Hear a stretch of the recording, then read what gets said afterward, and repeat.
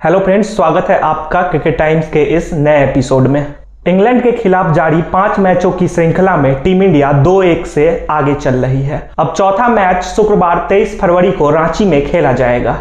एक तरफ़ भारत इस मैच को जीतकर सीरीज़ अपने नाम करना चाहेगा, वहीं दूसरी ओर इंग्लिश टीम भी आसानी से हार नहीं मानेगी और वह जीत हासिल कर सीरीज़ बराबर करना चाहेगी। बल्ले और गेंद की इस जंग का लुत्फ उठाने के लिए फैंस का उत्साह चरम पर है।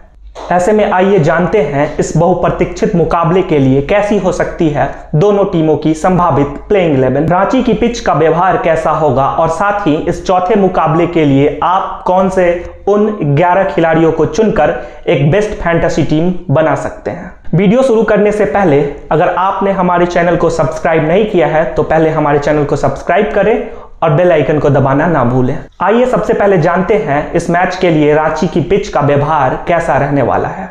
जैसे भारतीय पिचों पर स्पिन गेंदबाजों को काफ़ी मदद मिलती है, वैसा ही कुछ रांची की पिच पर भी देखने को मिलेगा। पिच पर हल्की घास है, इसके अलावा हल्की दरारें भी देखी गई है। इसकी पुष्टि इंग्लिश टीम के कप्तान बेन स्टोक्स ने भी की है। ऐसे में इस मैच के लिए दोनों टीमें अपनी प्लेइंग इलेवन में ज़्यादा स्पिन विकल्प शामिल कर सकती है। संभावित प्लेइंग इलेवन की बात करें तो भारतीय फैंस के लिए निराशाजनक खबर है कि उनके स्टार तेज गेंदबाज जसप्रीत बुमराह उपलब्ध नहीं है। बुमराह को आराम दिया गया है। वहीं अनुभवी के राहुल अभी फिट नहीं है, जिसके चलते वह इस चौथे मैच में भी नहीं खेलेंगे।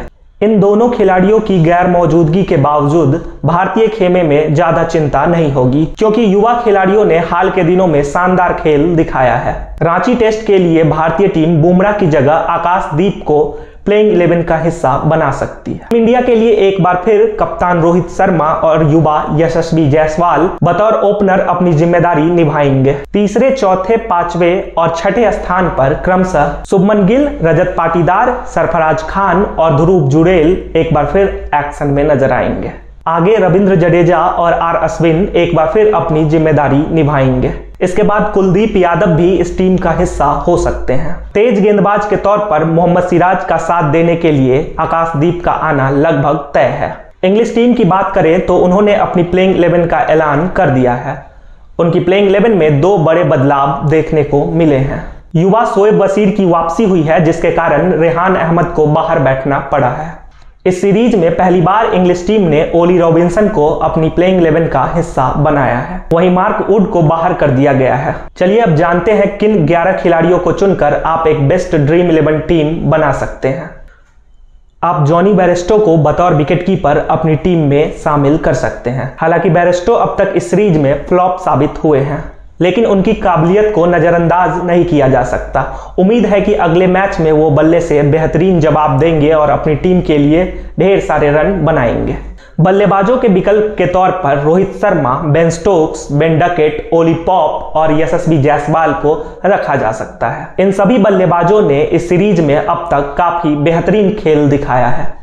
ऐसे में इन खिलाड़ियों को अपनी ड्रीम इलेवन टीम में शामिल करना काफ़ी फ़ायदेमंद हो सकता है। ऑलराउंडर के स्लॉट में रविंद्र जडेजा, आर अश्विन और जो रूट को शामिल किया जा सकता है। एक तरफ़ जहाँ जडेजा और अश्विन की जोड़ी भारतीय पिचों पर अपने दबदबे के लिए जानी जाती है, वहीं इंग्लिश दिग्गज रूट आपको बल्ले और गेंद दोनों से ढेर सारे पॉइंट्स दिला सकते हैं। गेंदबाजों की सूची में आप कुलदीप यादव और टॉम हॉटले को रख सकते हैं, क्योंकि स्पिन फ्रेंडली रांची की पिचों पर ये गेंदबाज काफ़ी सफलता दिला सकते हैं। अंत में आइए कप्तान और उप कप्तान के लिए बेस्ट विकल्पों के बारे में बात करें।